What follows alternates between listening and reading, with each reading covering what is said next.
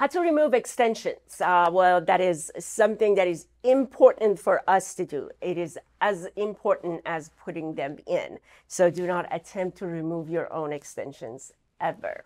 Um, it is very, very important, especially when it comes to keratin fusion, because there's so many attachments and so many bonds.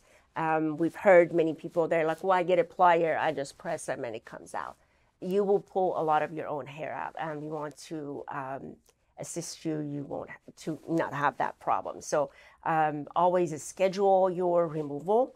Uh, it takes generally about hour, hour and a half.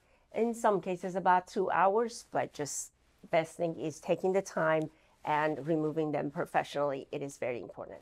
But at the same time, if you have beaded weft, any kind of weft extensions, it takes less than 10, 15 minutes to remove them and we can condition the hair and get it back to where it needs to be.